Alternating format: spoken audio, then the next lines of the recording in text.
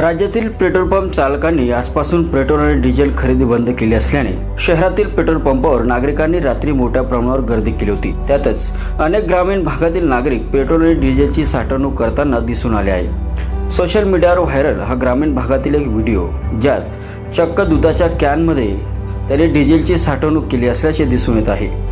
ही अनोखी शक्कल पाहून सोशल मीडियावर हा व्हिडिओ चांगलाच व्हायरल होताना दिसत आहे. नंदुरबार जिल्ह्यातील पेट्रोल पंपवर या अवलियाने चक्क आपल्या दुचाकीवर दोघी बाजूला दुधाच्या कॅन लावून कॅनमध्ये डिझेल भरले.